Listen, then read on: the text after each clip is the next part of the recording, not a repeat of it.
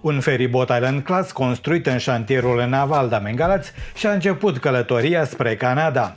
Nava este a patra dintr-o serie de șase comandate de compania BC Ferries, cel mai mare operator de feriboturi din America de Nord. Misiunea navelor construite la Galați va fi să asigure legătura dintre insulele din British Columbia, de pe coasta de vest a Canadei.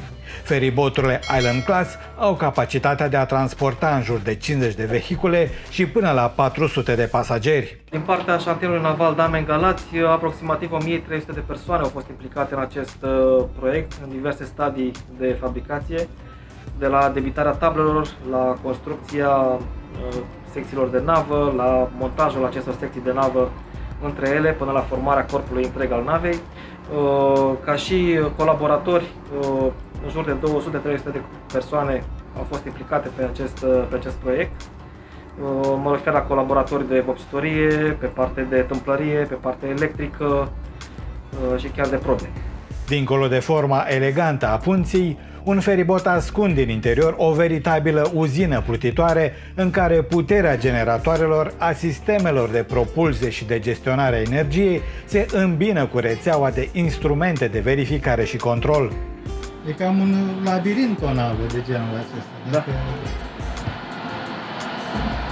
Clientul nostru a fost foarte încântat de uh, spațiile pe care le-au sub putea principală în spațiile tehnice, deoarece navele lor în operare la acest moment sunt foarte vechi, cu spații foarte mici și acesta pentru ei deja este următor, uh, următorul nivel de, de spațiu.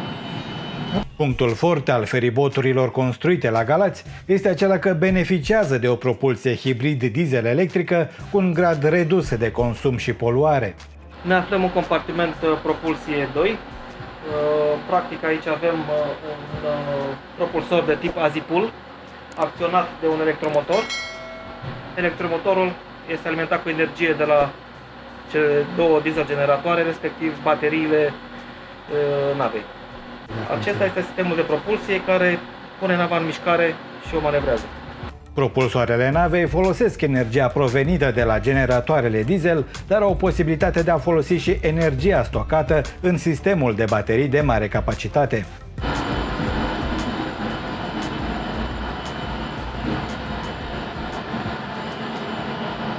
Ne aflăm în compartiment diesel generator 2. Aici avem sursa principală de curent electric, un motor care acționează un alternator ce produce energie electrică. Energia electrică este trimisă către bateriile, de bateriile navei pentru încărcare, respectiv către sistemul electric de propulsie pe care doar l-am vizitat.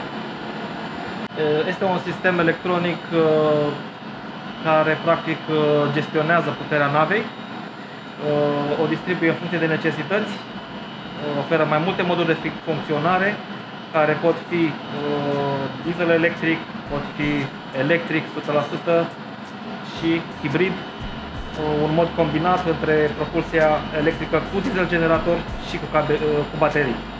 Bateriile electrice sunt amplasate într-un compartiment special cu un sistem de răcire individual care are rolul de a menține o temperatură constantă necesară unei funcționări în condiții de siguranță. Acest tip de baterii au special uh, capacitate destul de mare de stocare.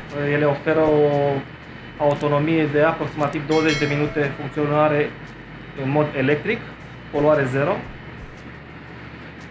iar pe viitor clientul intenționează să mărească capacitatea acestor baterii prin montarea încă unui set pentru a opera nava complet pe electricitate cu emisii zero.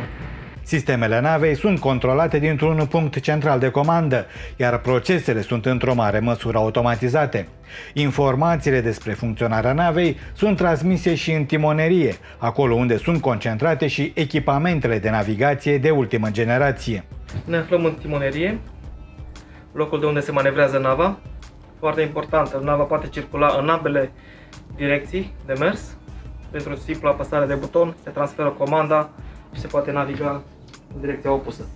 Avem în felul următor, sisteme de propulsie, sistem de comunicație radio cu autoritățile de, de la mal sau cu alte nave, Sistemul de comandă propulsie numărul 2, în sensul în care uh, există probleme cu sistemul principal de comandă, se poate comanda și din acesta. Radare, pe ambele capete indicații pentru unul sau celălalt sens de mers. Panoul lumini de navigație, din nou sisteme de comunicație și poziționare. Deasupra avem indicații pentru poziția propulsoarelor, durații propulsoare, uh, display pentru hartă, display uh, cu diverse indicații tot pentru comandant, viteză, adâncime, apă, direcția vântului. Un test important al acestor echipamente deja a început. Echipajul companiei Biciferis a luat nava în primire, iar în prezent forța și rezistența feribotului este pusă la încercare în voiajul spre British Columbia, călătorie care va dura aproximativ 60 de zile.